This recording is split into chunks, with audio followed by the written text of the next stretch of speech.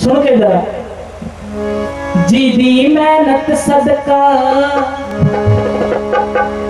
हो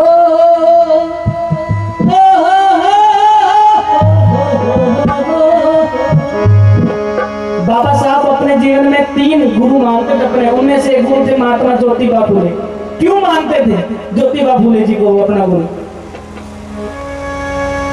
जी जी मेहनत सदका। बूढ़े विद्या दे खुले एक महात्मा सादा प्यारा सोती फूले। एक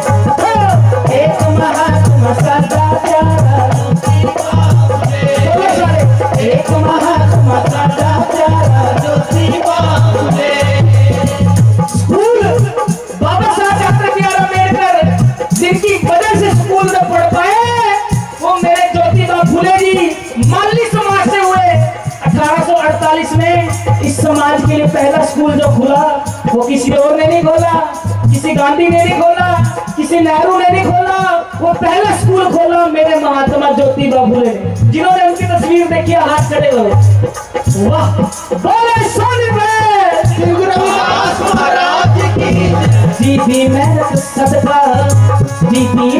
सदका एक महात्मा सदा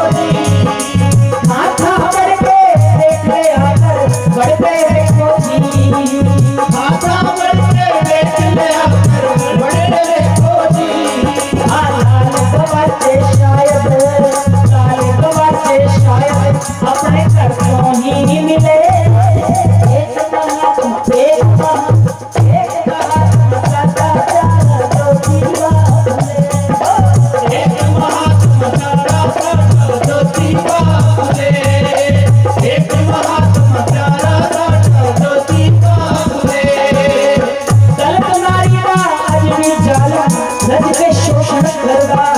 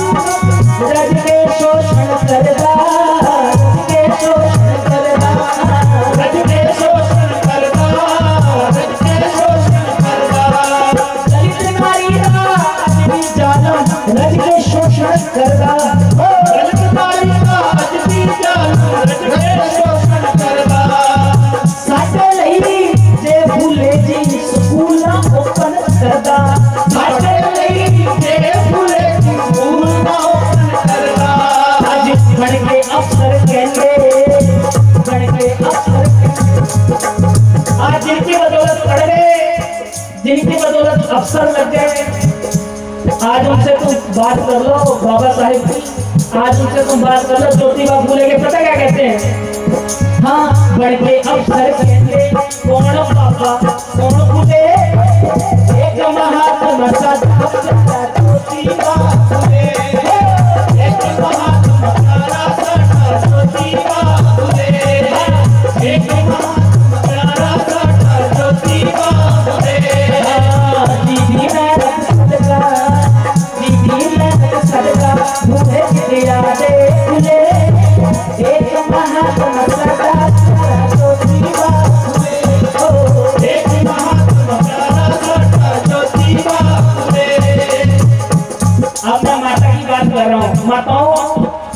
अब कान जरा खोल लो। आपकी बात हो रही है? ज्योतिबा फूले जी ने पुणे में स्कूल खोला तो गुरु प्रेमियों ऊँची जात वालों ने अफवाह फैला दी कि जो भी स्कूल में कोई लड़की अपनी भेजेगा पत्नी कोई भेजेगा उसका पति मर जाएगा। गज के आखो जय गुरुदेव। ये अफवाहें बहुत फैलाते हैं। हमारे समाज के बीच में अफवाहें फैलाते हैं और हमारे समाज के लोग होते हैं अफवाह फैलाने वाले किसी जंगल के कटने का किस्सा ना होता, अगर कुल्हाड़ी के लोहे के पीछे लकड़ी का हिस्सा ना होता। लकड़ी लकड़ी को काट रही है यहाँ। देखा ना कुल्हाड़ी के पीछे जब तक वो लकड़ी ना हो, ऐसे थोड़ी कुल्हाड़ी कोई मार के काट लेगा पेटा। पीछे लकड़ी चाहिए होती है। वैसे ही समाज का अगर किसी व्यक्ति को गिराना हो तो समाज में से बंदे के उसी के पाँव काटने लगते हैं, उसकी टांग खींचने लगते हैं। ये समाज कभी तरक्की नहीं कर रहा।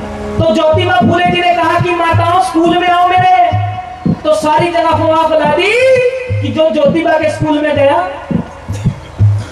जिस भी माता, जो भी माता गई, उसका पति गया, अब माताएँ डर गई, करवा चौथ का व्रत रखा थी छल्ली मानो देखा थी इनको तो खतरा हो गया कि भाई ना भी हम नहीं तो क्या करेंगे पड़ेगा थे, ठीक है, कम से कम चेहरा तो दिखता रहा था। कर दिया इमोशनल अत्याचार। होगी इमोशनल ब्लैकमेल तो ज्योतिबा फूले जी के स्कूल में एक भी महिला ने जाना बंद कर दिया बिल्कुल। तो उनकी स्टूडेंट पता कौन बनी?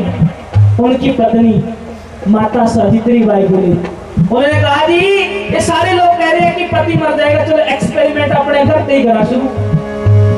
ऐसा करो, मुझे पढ़ाओ आप। ज्योतिबा फुले जी ने एक साल सावित्री बाई जी को पढ़ाया के बाद फिर पूरी पंचायत इकट्ठी की, सारे लोग आए। कहा कि कल से भाई भेज देना अपनी बेटियों, पत्नियों को ज्योतिबा फुले जी ने कहा। उन्होंने कहा जी हम तो एक साल पहले भी भेज देते, लेकिन क्या करें? अफवाह तो ये है कि आपके स्कूल में गई, एक साल के अंदर अंदर पति मर जाएगा। ज्योतिबा फुले जी ने कहा, इसीलिए एक साल के बाद आया हूँ। एक साल तक अपनी पत्नी को पढ़ा रहा था जब तक मैं नहीं मरा, मैं थारे सामने ज़िंदा खड़ा हूँ, तुम्हारा तुम्हारा कैसे बाल भी बंद हो जाएगा? इन चक्रों से बाहर आओ, स्कूल में आओ। तो ज्योतिबा फुले जी के स्कूल में फिर औरतें भी जाने लगी। तो दिन भर काम करती, कहते कि दिन में तो टाइम नहीं थी। ज्योतिबा फुले जी ने कहा टेंशन ना लो we will open school in the night night school open कर दिए, रातों को पढ़ाने लगे।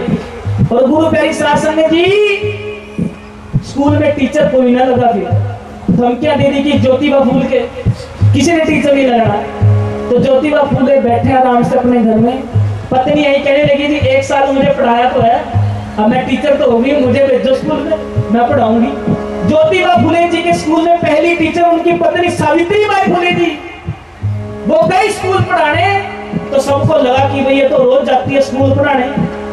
औरतों का काम तो भांडे मांजना हुआ औरतों का काम तो झाड़ू लगाना हुआ औरतों का काम तो चूड़ियाँ डालना हुआ औरतों का काम तो दिन भर थका के रात को पति का इंतज़ार करना हुआ। ये औरतें पढ़ाई पढ़ाई क्यों करने लगी? लेकिन गुरु प्रेमियों सावित्री बाई फुले जी, अपने समाज से बहुत आगे थी। वो पढ़ी नहीं, पढ़ाने भी लगी। तो औरतें ने क्या किया कि अगर ये पढ़ेगी तो हमारा नाम खराब होगा। तो सारी औरतें अपने घर का कूड़ा, जितना भी होता था, जितनी भी गंदगी होती थी, इकट्ठा करके रखती थी। और जिस गली से सावित्री बाई जी गुजरती थी ना माताओं सुन लो। इकट्ठा करके कूड़ा रखती थी कि सावित्री बाई गुजरे सारा कूड़ा माता जी के ऊपर गज गया क्यों? जय गुरुदेव। एक दिन हुआ दो दिन हुआ सारी बार ये काम चलता रहा। लेकिन सावित्री बाई फुले जी झाड़ के आगे चली जाती है।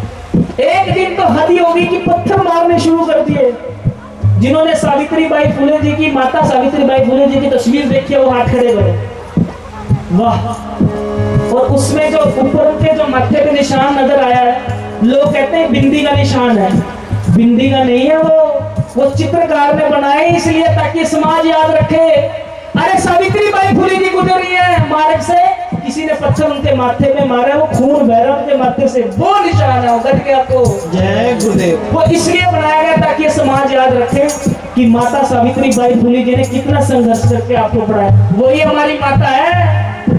वही हमारी गुरु प्यारी शास्त्र जी एक ऐसी माता जिसने आज़ादी समाज को दी पड़ोस देखो माँ सवित्री बाई जग